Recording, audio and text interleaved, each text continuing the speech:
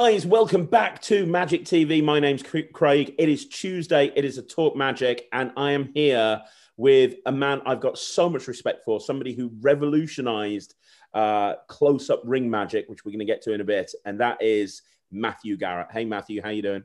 Thank you very much for a nice intro. I'm very good, Craig. It's true, though. It's true. Like, you know, I genuinely think, and I remember talking to you about this years ago when you first brought out the original Ninja Plus, you took the concept of, of close up linking rings and you just took it in a completely different direction. Um, the thinking behind what you did is just amazing. It really is. Well, it's just by interest, really. Um, I saw a lot of different routines on stage, a lot of variety on stage. I think people have seen things like Voitko's floating ring. Do you know the routine that really got me into linking rings? I'm old, you see, so it was David Copperfield. And it was the very, very slow where he just sits with the two rings. I mean, his, his whole routine is amazing. Um, and if people haven't seen it, they should look it up. That moment where he just unlinked them. But what I saw was all of these different stage routines yet close-up routines were one ring links to another. And that was kind of my interest, just changing it a little bit and making it slightly different. And it, it and it, it is. And now I think it's it's the thing that so many close-up workers perform, or at least did before COVID-19. It's it's the thing that so many people do.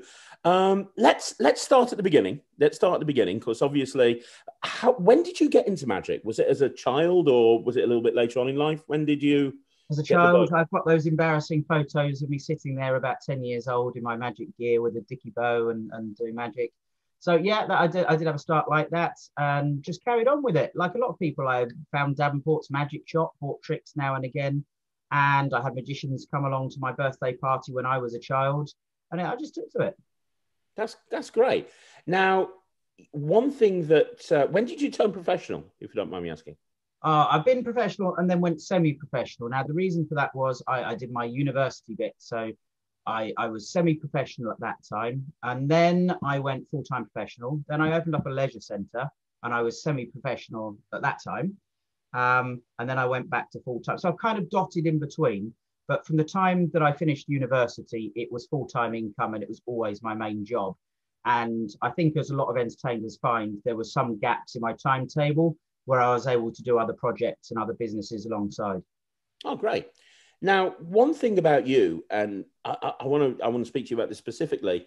I've seen you perform on stage, and you are phenomenal as a stage performer. Your manipulations are amazing. Uh, you've done illusion shows. I've been backstage with you when you've been, you know, doing all of the illusions.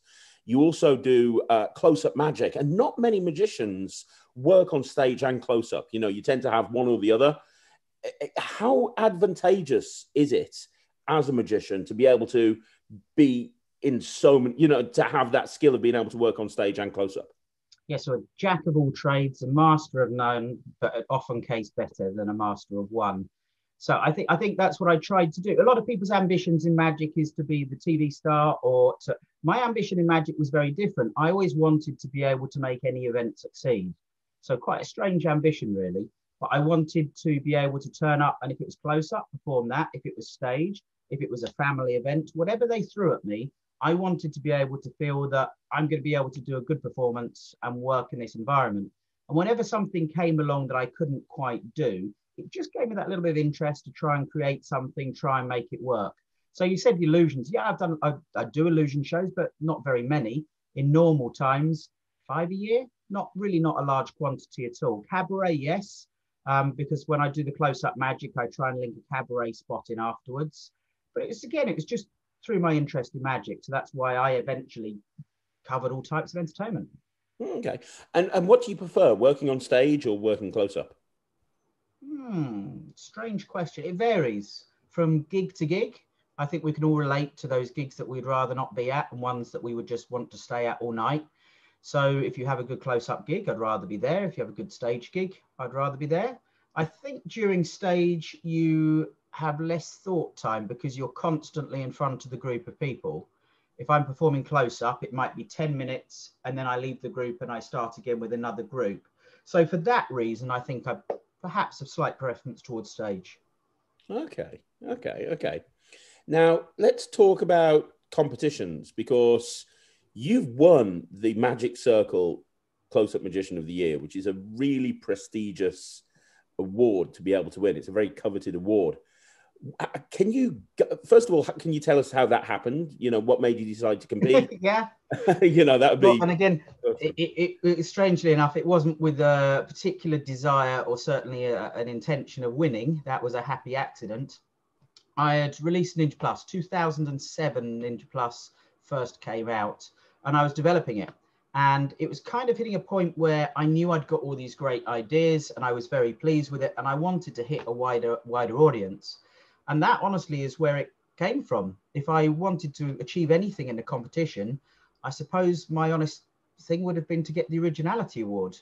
Um, but but that, that wasn't to be. But I yeah, I was very pleased to have, to have won it. But that was 2010, so that's quite a way, while ago now. Still, no one can take it off you. Have you have you got any advice? You know, we've got a lot of people on this channel, and they ask questions over and over again. How do you win competitions? How do you compete in competitions? Have you got any advice for how somebody who's never entered a competition before that has a desire to do so? Any advice on how to actually do really well? I think pride gets in the way too much. I think people want to win and they can't. A lot of people really have a hard time. It's not that they're they have to win at all costs but there's that certain embarrassment. If I don't win, I'm going to. People don't take any notice. My advice is go out there and do it. Give it a go. No one takes any notice if it doesn't go well for you, but you've got everything to gain if it goes well. So that's that's the entering advice. But as far as the and, and be prepared to lose as well. You you can't have a you can't worry if someone if you don't agree with the result or someone's won and you don't think they should. That's part and parcel of competition. So that's just got to be water off a duck's back. Um, and then for performing, I can tell you what I did, and that was certainly not to start with anything that was too difficult for me. I want to ease into performance and to perform my usual set. As soon as I start performing things that I'm not used to, that I haven't done a thousand times before, I'm on dodgy ground. Now, when I performed in the competition, I was nervous, and I think backstage we all were nervous.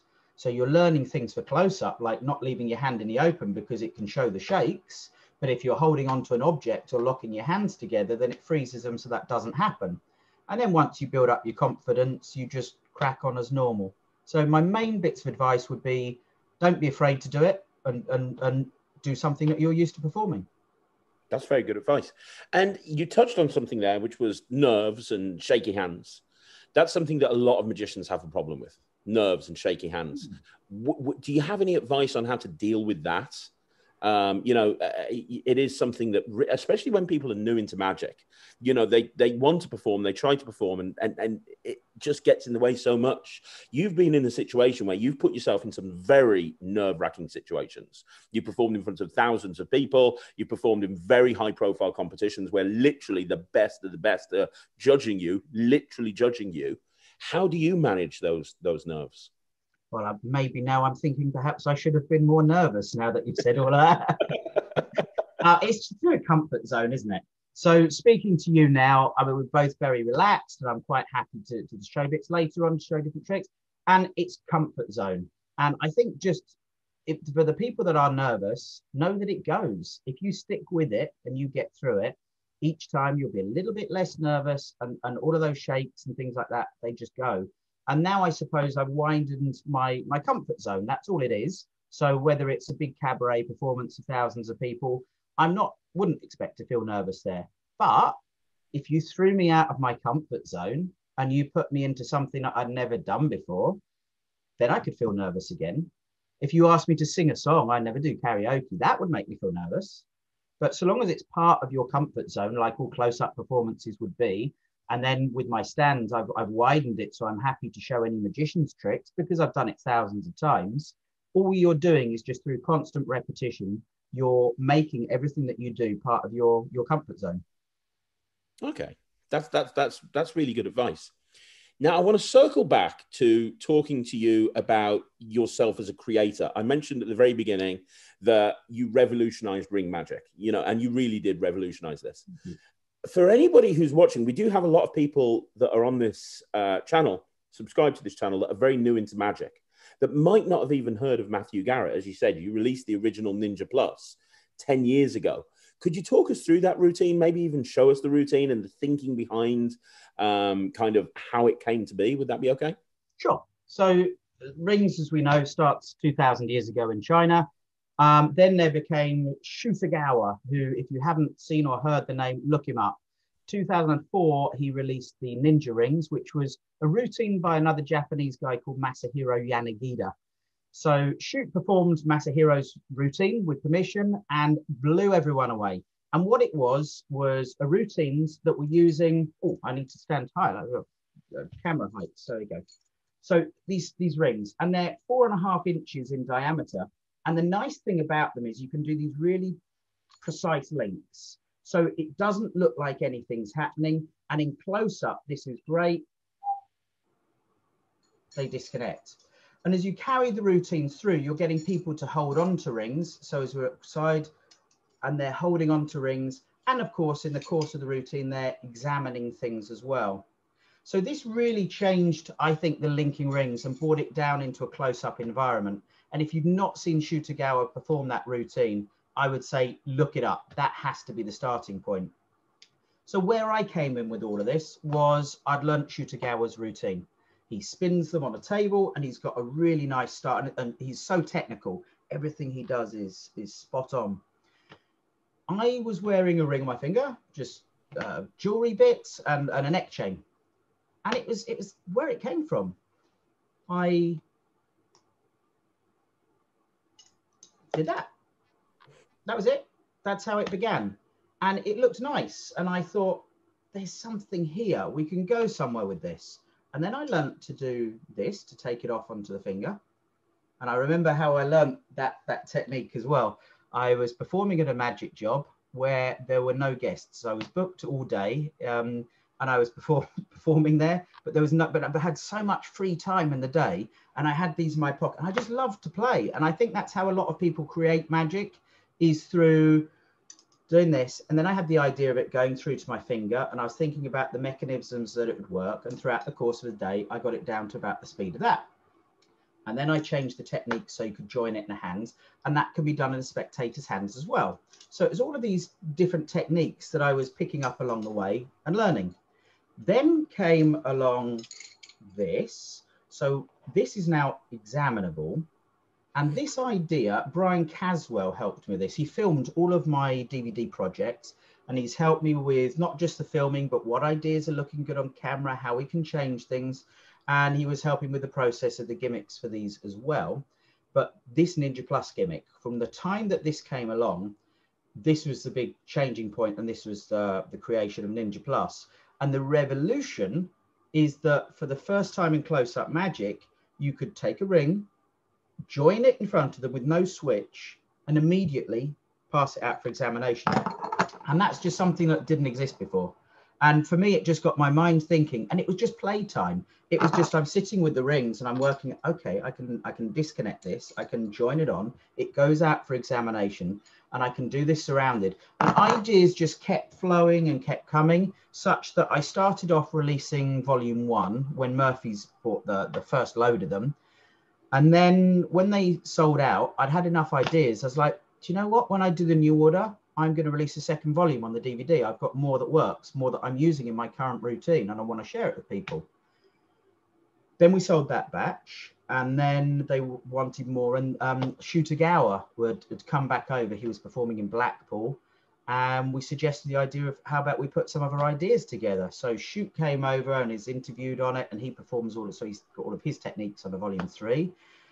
And then we did the same again, same process. Matt Lamotte, who a lot of you mentioned the Magic Circle close up, he's he's won that three times, um, and he's on volume four of the DVD doing all of these things. So it's kind of been this creative process that's just gone off in different directions. And for me, um, the close up linking rings is not just about one ring joins to another that joins to another. Now, I love the old school performers such as Richard Ross, who's got that elegance of taking the rings and his style that brings it to, and Jeff McBride, who performs with the power. But with the close up, what I wanted to create was variety. So changing the objects. So rather than just one hoop joins to another, I would join anything I could find. Uh, if a lady's got a handbag, I ask to borrow it. I link the handbag on. See you later. It's, it's a bit of fun. Um, polo mint. I've joined it. And I've joined the polo mint through, and it's teeny tiny. It joins through. I disconnect it, and I'll go. I'll make the mint disappear, and it's it, it, you eat it. It's just a bit of a way. Uh, using the rings as a vehicle to use everyday objects into your magic and have fun with people. And I would use the smoke gimmick a lot with the magic because you can do the nice bits where you melt the rings on and the smoke comes out at the time. So when you start putting all of these things, ties, gentleman's tie, I'd link it and I'd let it the tie go and it pings back and it looks it looks fun. So it just made for me, rather than uh, I think people saw rings as being cliche magician, just boring, one ring links to another. But once you break free from that and you realize what you can do, anything with a gap in it you join. You start having fun with things. A wristwatch i borrow the wristwatch. Now instantly you can do magic with wristwatches. So even if you don't do a watch still you've got that nice image that people are seeing of, his, of the wristwatch going up. Bangles that girls wear incredibly wide but i've got techniques of joining the bangles through. So instant and i use because it's all metal you can use flash string and you can light it. So it was a way of me getting fire into my routine in a safe way. So instantly i've gone from having a one ring joins to another to including everything fire, smoke, borrowed objects, jokes on the way through. And it, it just rolled and the ideas kept coming. That's that's that's that's absolutely amazing, and that is a perfect lesson in creativity right there. You never want to stop working on something. You know, if you just stopped when you had the idea of linking the ring on, then we wouldn't be where we are right now. Um, it's it's I, great. I, think, I, I, just think about it way too much.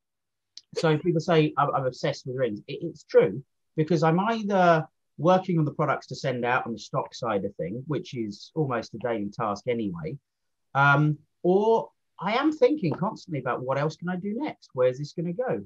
Um, the other day I was helping someone with a social media video to create something different with with rings, so it's got the variety in it. Um, Ninja Fusion do you, do you, remember? I don't know if you performed the interview. Yes, the fusion with the with the ball bearing. I was going to ask you about that next. Yeah. Yeah. So that came along. I wanted a slow melt. So with the rings, it's quite a fast. Sorry, see where I put this. It's quite a fast motion. So you're here, and what I wanted to do, I wanted to create something that instead of having that, I wanted to create something that was really slow how this is going to look from here, but let's go. But my inspiration for this came actually with the golden key. You know the um, you know the effect called the golden key. You take a key and you move the end of it across, and you slowly move it, and it. And I liked that idea. I wanted to try and achieve something similar, and this is what we come up with. So they can examine this beforehand. You can sit here, but you get this really slow melt through. So rather than be a fast link, and you show it all of the way around and it's an object that you can then pass out for examination. So you can take it and they examine it, and you can show instantly it moves. It's got a lot of fun bits to it. Um, you, will see trailers for it as well. And a lot of the simple moves that you use with the rings are great. So I'm sure a lot of the magicians will work out what I'm doing here, but instantly they've taken this back. You've taken this back. You can start to move it. That looks great. But everything I've just shown, people will be doing instantly. It's not a difficult effect. It's just a very, and when I do the slow melt, I like to use smoke at that moment because I like the special effects of it going through. So it's, it's a very different way of performing. And then let me just show you something else. Excuse me, I've got different bits around. Let's go with this. There we go. So I'm doing my routine. I come into here. And then once we've joined on fusion, I join my different ideas together. So come on, you must do you recognize who that is, Craig? Any ideas? Uh, Mickey Mouse? no, it's Donald Trump, but thanks for playing. No, you're, you're, you're, you're exactly right. Yeah, Mickey Mouse is who you're supposed to think it is. Or if we add one of these on the end, there we go. We'll put that around there. And then we've got uh, Minnie Mouse. no, it's still Mickey. He can wear what he wants. He shouldn't. so it, but, but this is the thing. It's a way of having having fun with the routine, and it's it's no longer your standard generic linking rings routine. Um, you can put different jokes with it on the way through, and it just flows, and it, it's different than other routines they're going to have seen you do before. It really is, and and I think that that's the thing that strikes me. If you go and you buy from you like the Ninja Rings, the Ninja Plus, the uh, the Ninja Fusion, you you've got the four volumes of the DVDs. You've literally you haven't got a trick. You've got a, a virtual encyclopedia of knowledge in terms of you'll never need to have anything else again because there's so much there. There's so much that you can learn and I think not just learn, so they learn all the routines straight away. So if you want to learn a basic routine, you can be doing it really, really quickly. In fact, when people come to my scans, I always make sure by the time they've left, they can perform it. So it's it's one of these things that's quick to learn. But I like the fact that people can see what suits their style, whether they've got a comedy style or whether they want to use the fire, or if they work in restaurants, I link it on bottles. And if you want to link it on people's foreheads, you've got all these choices that you can make for what, what suits your style. And, and, and that's a way to go for it. So Ninja Plus was all of this thing with um, joining a, a, finger ring, the small ring on, and then instantly passing it out for examination. And then I wanted a way of being able to do a similar type thing with the close-up rings. But the problem with the close-up rings, as we all know, with the normal sets that you use, is there's always the moat. You don't want to give the key ring away because you, you know you've got to be a little bit protective, haven't you? And, and I'll be honest with you, that's the thing. I, I um that that magicians it makes magicians wary of using the rings. And you know, you I, I do your routine an awful lot. That I, I remember at Blackpool because you obviously were dealing at Blackpool. You had a dealer stand. I remember at Blackpool. Um, the um, there was some I met some magicians and they were like, "Oh no, we never do linking rings. We think it's terrible because of the key ring." Blah blah blah. I was like, "Okay." If you remember, I brought them over to watch you. I said, "Watch this guy," and they bought everything. And I think the fear that magicians have is, oh, I've got this ring with this hole in it.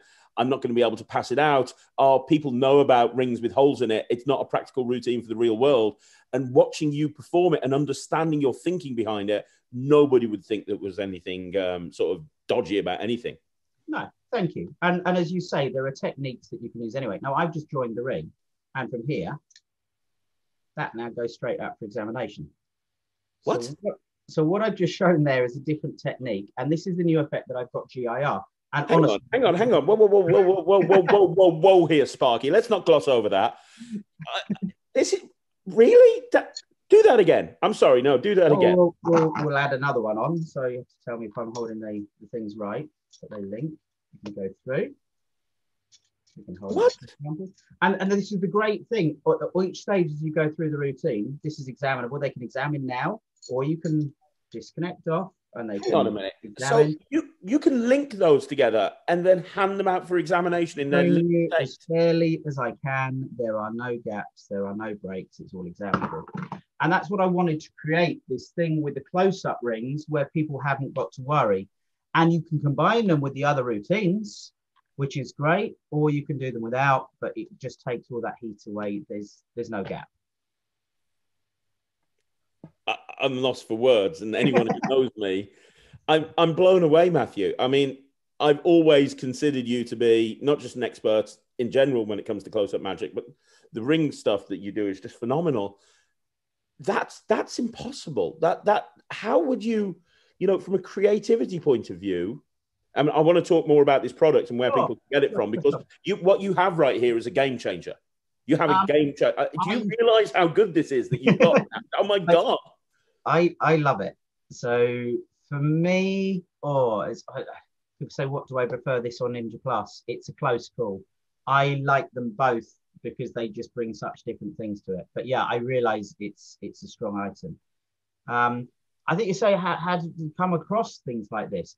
I've spent a long time researching, so watching a lot of these old school performers that go through, and I came across a DVD set by Levent, and it's amazing. It's mainly on a stage rings. He's got four DVDs and he talks you through the routines and he's shown you performers from the past. He's shown you the history and he's bringing these ancient routines to life. So if anyone's not seen that, they should. So really trying to when when you specialize in a field, you suck it all in. You try and work out everything that's available to do with rings, whether it's the sand guy who takes the rings and makes it disappear, or if it's Victor Voitko, who's the first person to shrink, or first person I saw to shrink the ring smaller, you you learn all of these different things and you see the techniques and you try and run with it and come up with more ideas of your own. So what what's the new product called? It's called GIR, Garrett's Impossible Rings. And and where can people get it from? Is it available everywhere or is it available, it's available now. So if they search for it, they should be able to see it straight away. Am I allowed to give my direct link to myself? Absolutely, of course, that's my, that's my preferred method, of course. Absolutely. Um, professionalmagic.com is my website, and you'll see the product section there. Or you can go to ninjaplus.co.uk. Either of those will take you through to it. And what you get it, if you already own my four rings, you just need to buy the expansion set. So you buy the GIR expansion set.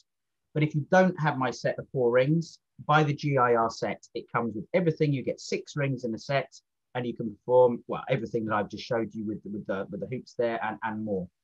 So yeah, and I've got additional products on there, of course, such as Ninja Fusion with the ball and Ninja Plus that uses the, the finger ring. And is there a package deal on there if people want to really delve into your brand of super visual ring magic? Is there something where they can buy everything and have just access to all of it?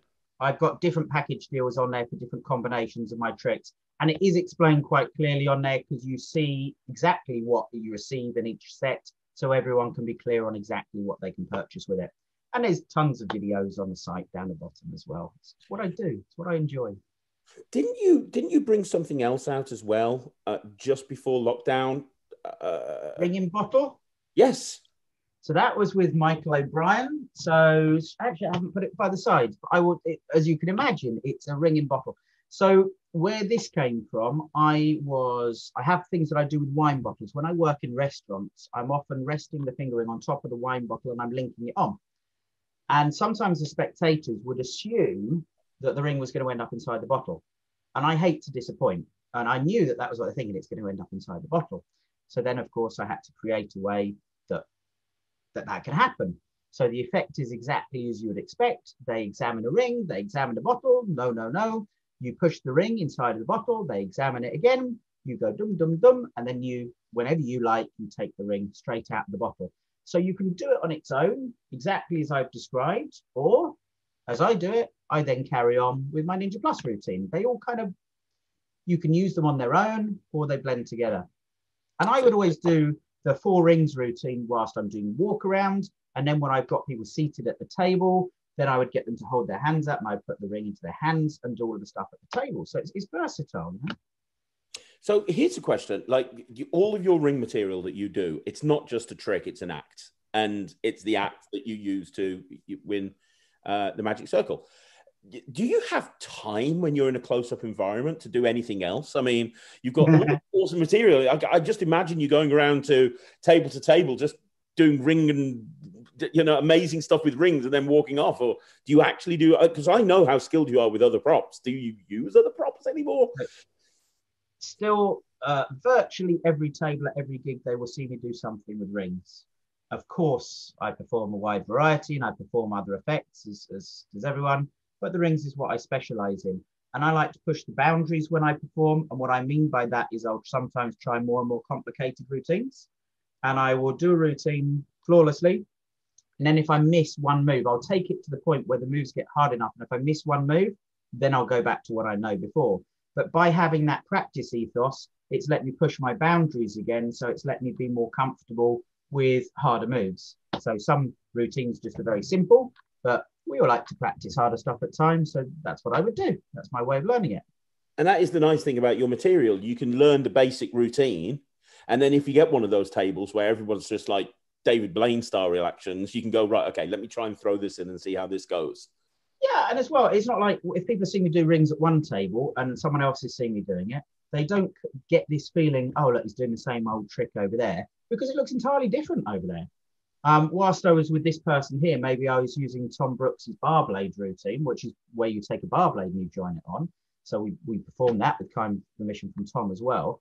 Uh, and maybe over on this table, I'm using flash string and I'm lighting stuff. And maybe on another table, I've got someone with a ring on their head and I'm linking it on there. So the point is, it's to a magician, it might look like the same. It's the same learning technique. So you once you've learned something simple, you can dress it up in a very different way.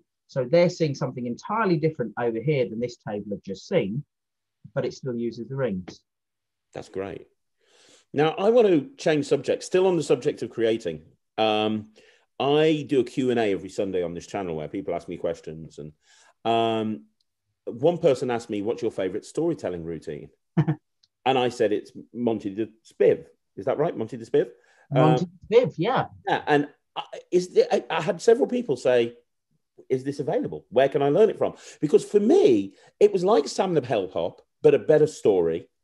And also, you put some manipulation in there. You put some flashier moves in there, which I think just, I, I, I honestly, I think it's the best storytelling routine that there is out there, bar none. Well, thank Freddie, thank Freddie Lowe. So there's, there's history behind these different things. So storytelling decks, it doesn't date back to me. Um, Monty the Spiv dates, dates right back. I think Harry Stanley put it out in conjunction with Freddie Lowe. So that's what, and before it was Monty the Spiv, it was called Tui the Barman. So these story decks originate over time. And the American one, as of course you said, everyone's, I'm sure, seen Bill Malone, amazing performer, perform Sam the Bellhop. Um, Sam the bellhop. Bellhop's not an English word. The 468th Street, it's not an English way of. So my point is, spiv is an old-fashioned English word that I'm sure most of you viewers are familiar with, but a bit antiquated perhaps. But it's it's an English story deck. So for me, when I'm performing here, I want to use things that make sense. So that's where it's come from. So the original story deck, it, it's not mine. It predates. So it goes back to, to, to Freddie Lowe and it's it's in a yeah it's a set deck routine. And the reason i love these things is it's a chance to put your personality into a routine. So and, and i see jokes with story decks where people because it can be monotonous just naming cards as they come off the deck. We're now going through to the ace two three four five six seven eight nine ten queen king club. It's a chance to put your personality into into a routine. So if you've um, can create something, I like to spin the card in the air and, and catch it, and I have them applaud when I do that. It's just if it's the right time, it's a way of asking people to give you a clap without directly saying, "Please applaud me now." It's it's setting a challenge for yourself. If I complete this challenge of spinning the card and I catch it, then I would like you to to clap and stamp your feet. So I am asking for applause, but I'm not asking for applause. And if I want the applause to go loud with clapping and stomping of feet or, or raucous, then I can control it to go in that direction. And if I want it to be polite and not make so much of it of a time, I don't have to. So the story deck for me is just a vehicle to get my personality into a routine. And you can cut the story short if you want to. You don't have to do it all the way through. But ideally, my requirements to perform a story deck is I want them to be able to hear me. I don't want to be in a venue where the music is too loud for that. And ideally, I'd like to think I've got at least two minutes of their time so that they're not going to cut into speeches or things like that are going to happen. So I pick my times carefully and you just require a teeny tiny space that big to put cards down on the table. And apart from that, you're away. Um, I have got some different, I can show you some different ideas from it. So yeah, let's start please. off this. So this is a thing, this is where you can start the story deck. So if I hold those up, you see just deck of cards in order. Yeah. Now, I'm holding this up now for, for long. This is the, uh, a new deck order gimmick. And this was based on the Deland card. And what you do is you, you, you get rid of the Joker and you get rid of the two guarantee cards. And now I'm into my set deck. So these cards are not in deck order. Okay. So right. although I showed the cards in deck order, they're special gimmicked cards that are called the new deck order gimmick, and they make it look as if the cards are completely out of the box in order. And all you need to do once you've shown it is to get rid of the guarantee cards, which are your gimmicks, and then you're you're away to do your story deck. And for me, I like that because I can take the cards out of the box. It looks like a new pack. They're exactly as they're supposed to be. There's no heat tonight. They're just in deck order. And now when I'm shuffling the cards, it gives that idea of more skill in there. It adds something to, to what I'm about to do. And that gimmick's also useful if you were using, if all the cards were blank or if it's a one-way force deck, no matter what your gimmick is, it's a way of making the deck look normal before you begin. And so the history of this thing, um, I saw Daryl, the magician's magician, um, perform using the Deland card, and that was a way of forcing a card. He would hold a similar display up, get someone to look at a card, and he would thereby be able to work out what card they picked. Okay, so that is the way I start the story deck off. Now I did change. So I've got. I'll show you the card manip bit because I know you mentioned that earlier. Yeah. Um, card manips generally people think of for stage, but you can do. I'm about. Well, this is as unforgiving as you can get. I'm. I'm sitting. Here we go. I think that's about as close as we can be. There's, but you can still get card manip to look quite nice, even if you're up close.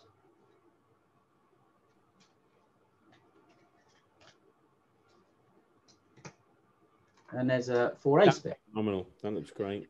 That's about. I don't know how, how much it flashed. I'm just sitting in front, and I'm, I appreciate my camera is this far away, so you're right on top of it. So that is less forgiving than a live audience would be, but you can do carbonate that far away from people with a few cards, and in amongst in a criteria of the story deck routine, it's giving me the story deck for me gives me permission to show off with a deck of cards. I think when people sit there and they start doing fancy cuts for no reason, unless it's part of your character or as Dynamo's style, I, I get that that's his his style, and then you can get away with it. But without building up or having a reason to do it, just sitting doing fancy cuts with cards, it's a very strange thing to do, isn't it? Mm-hmm. But a mm-hmm. story deck routine where you're having fun and I'm going to spin this card, we're going to catch it, we're all going to clap, and you're having fun with the audience, you've kind of built your personality story deck routine in together and it gives you this permission to be able to show off a little bit and do whatever moves you know. And I say to people, if you can spring the cards, do a spring. They're going to love it. It's a way of finding the joker. I'll spring the cards and I'll catch the joker over here. If you can't do a spring, doesn't stop you doing the routine. Just don't do a spring. Do whatever move you know. So it's a way of all these moves that you've always wanted to put into your routine that you've practiced. And you thought, well, I, I love this move. I've learned it. I never use it, but I like the move. By using Story Deck, you've just giving yourself permission to do any move that you like because it's just part of this. I'm going to find your card and here's how we're going to do it. So for me, it's a way of breaking free like that. Another thing I did in the story deck routine was a way of guessing his age. So I've, I've gone through and I've talked about this chap who goes off um, and we're going to work out how old he is. So Craig, give me an age. So if you said 47, I have to find a four and I have to find a seven. How old do you want him to be? Um, 32. 32. So if I stand up here, and we didn't set that up, by the way, because that, that's quite a nice one for me, actually, but there's 32. That's great. Yeah. Now, all this is, um, I'm allowed to talk through methods on here, I'd say. Oh, yeah, yeah, yeah, yeah, absolutely. So I got to a point in the story deck routine where I changed the order of the cards slightly, such that on the bottom of the pack, I've got five, six, seven, eight, nine. So if you gave me any numbers with those in it, I can just, with my thumb, I can just count down to whatever you said. So it's very easy for me to find. And on the top of the deck, I've got all of the other numbers that I can thumb count down to. So I'm just counting them down here. So on the top of the deck now, I've got 263. So it's quite nice. I came from the top to get 263. So that was the three. And then I can turn them over together. And then I can put them down and show the two. Um, all of the numbers that I need at the top are there ready to go. So it goes two, six, three, five, eight, seven, three, four, and I never need to go further than that. And on the bottom of the pack, like I said, I've got five, six, seven, eight, nine. So using that, I can find any age that they give me very quickly. That's that sense? Yes, that makes sense. The only ones that are excluded, and this is nice as well, if they say a number with a one in it, that's already gone past, and I cold cut to the ace. And all I have to do is to lift a few cards up because the aces are all together in a pile right near the top. So again, it's it was a fun bit for me of breaking the story deck up and just saying, okay, give me an age. How old do you want it to be? And I'll find that age using the cards now. And that's what we do. And I think when people learn story decks, they have this idea that it's going to take me oh, a couple of weeks to learn the order of the cards. And people are surprised that when I do a lecture, the last five minutes of the lecture, everyone in the room learns the order of the entire deck. And it sounds ridiculous, doesn't it? it yeah, it, it's not because there's a story that holds it all together. And all mm. you've got to do is remember the bits of the story and you know the order of all the cards. So actually, and if you forget, you've only got to look at the card as you're telling the story and put it down. And then it gives that idea that you're making it up as you go along, which is fun too. So you you you can't go wrong with it in that sense when I um so I first released this over in America and it got lovely reviews over here and then I remember and I knew it was always going to happen in America. Someone compares it to to Bill Malone. So that's that's the thing. I'm not Bill Malone. I'm not an American magician. I'm not selling it. So I think people have got to realize what it is uh, and what the DVD is about. It's about an English story deck and it's about how you can adapt it for your own personality. If you want to be Bill Malone, he's great. But that, that's the difference is, if you like, between the most obvious product comparison and this. Yeah. And I think that you have to stamp your own personality onto it. You know, eh, whatever you do, you don't want to be just doing exactly the same thing as the person you've learned the routine off. I think that. Yeah. Um, I mean, as, as that came about. I mean, I, I learned the original Freddie Lowe version of the trick and I played with it and I made some changes to it. That, that's exactly what I did with it. And that's available on your website as well? It is. Yeah. Yeah. Monty Spiv. Excellent. So here's a question for you. You've, you've mentioned lots of names and you've spoken about lots of people. Who were the main influences on you as a creator and a performer? Are there any particular magicians as you were coming into magic that were a big influence on you? Absolutely. So let's go back to the start. So the magician I mentioned when I was um, very young, six, seven years old, who came around to my house was a magician called Leon. He has since passed on.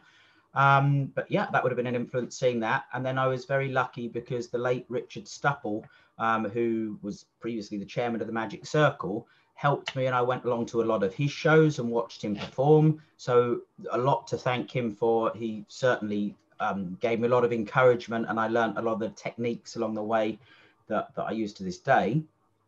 And then past that, with regards to the rings, I, I, I guess it would be a couple of the names I've already mentioned. So seeing David Copperfield, that that got me uh, excited by it. And then Shoot Ogawa has been absolutely incredible in everything he's helped me with the rings along the way. Because Shoot has, well, firstly, given me permission to use the name Ninja Plus because his product was called the Ninja Rings, and he was happy with the association of the two products and his his help with it. I mean, he you know performing on the DVD, and, and so he he's been amazing with it and, and instrumental.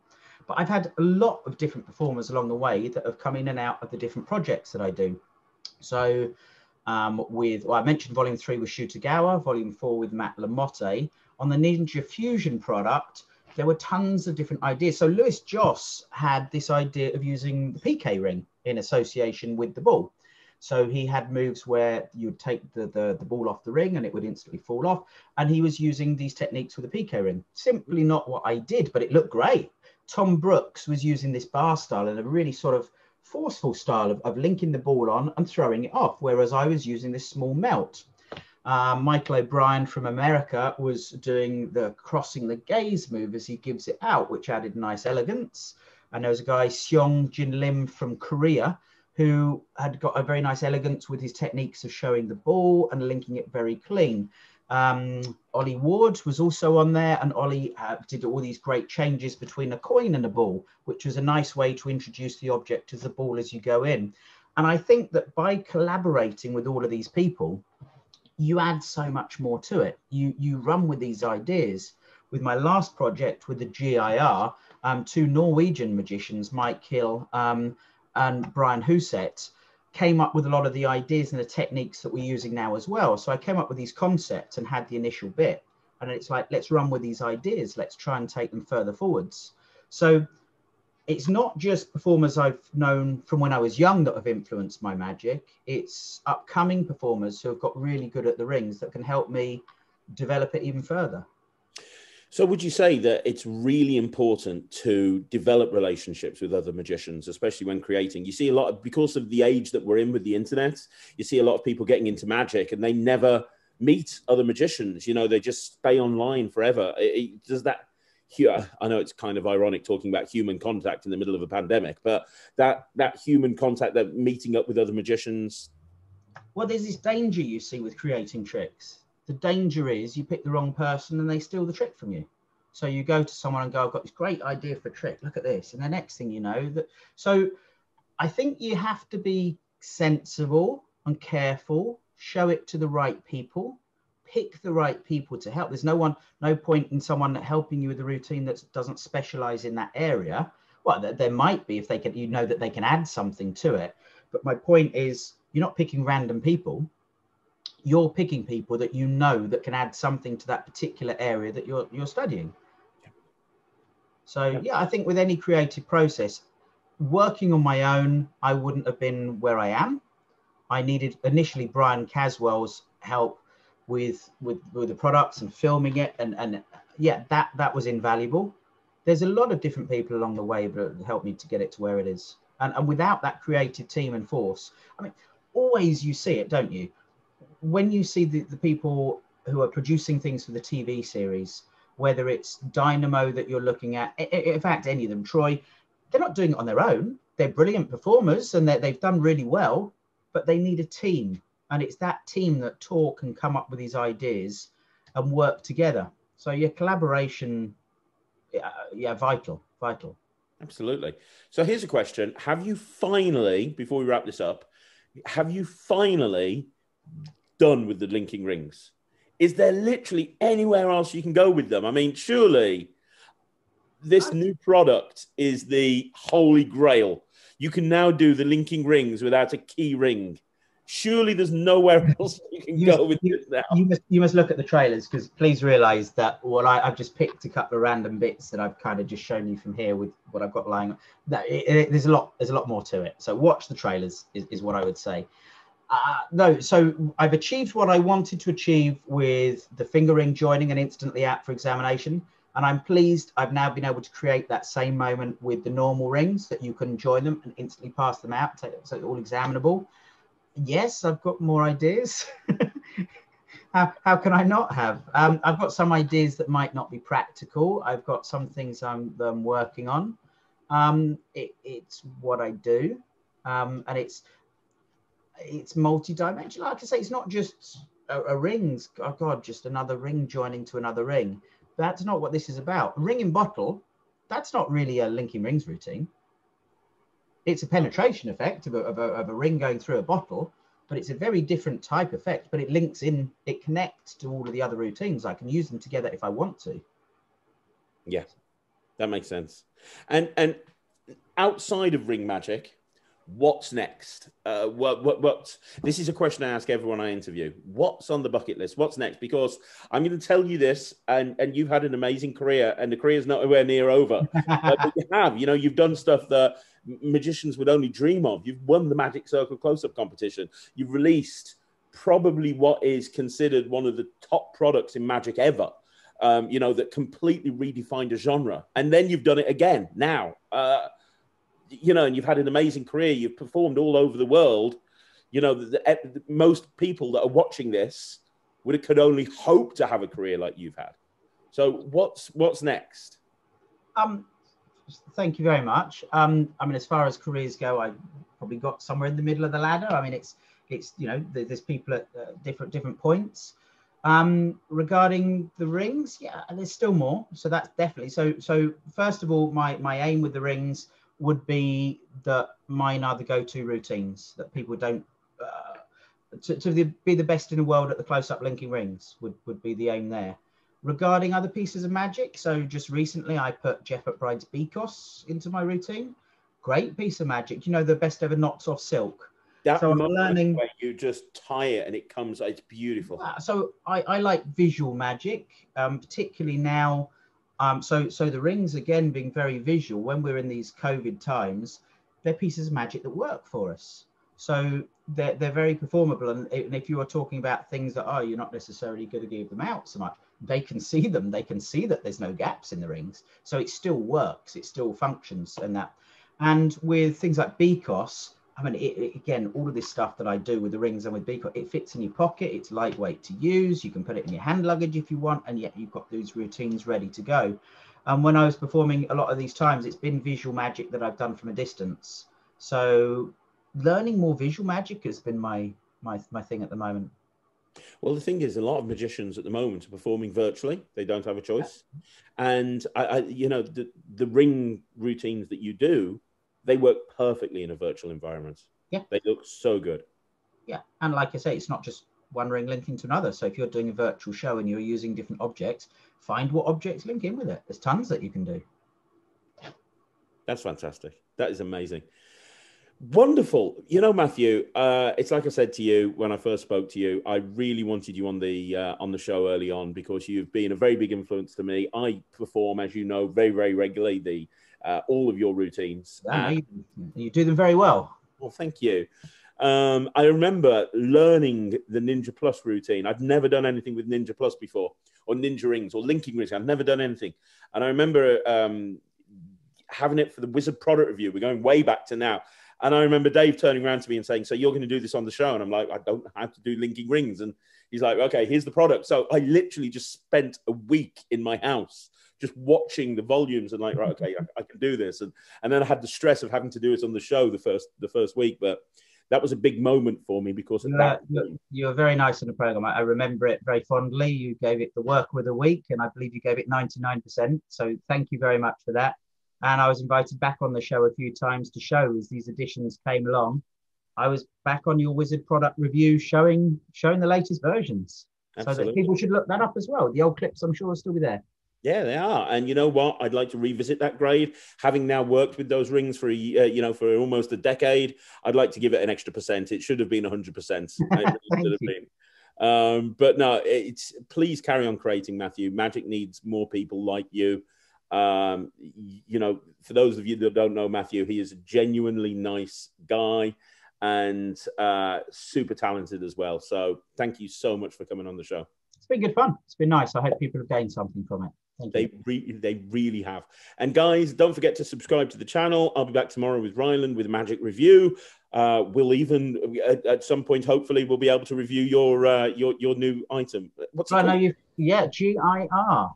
I know you I know you've got the new item, so I hope that uh, not just yourself, I hope Ryland has, has fun for me as well. We're going to have a fight. Me and Ryland are going to have a fight as to who gets through because he does the ninja rings. Like it's his favorite thing to perform. He does Ninja Plus, he does Ninja Ring, he does your whole thing. So when I tell him Matthew Garrett's got a new thing coming out and it's to do with rings, he will literally fight me to get that. So I, I have a feeling he'll be the one performing it, unfortunately. But look forward to seeing it. We'll have to see. Yeah, absolutely. So uh, I'll be back tomorrow with Ryland, and uh, I'll be back next week on Tuesday with another Talk Magic. Guys, thanks very much for watching, and uh, I'll see you again soon. Bye.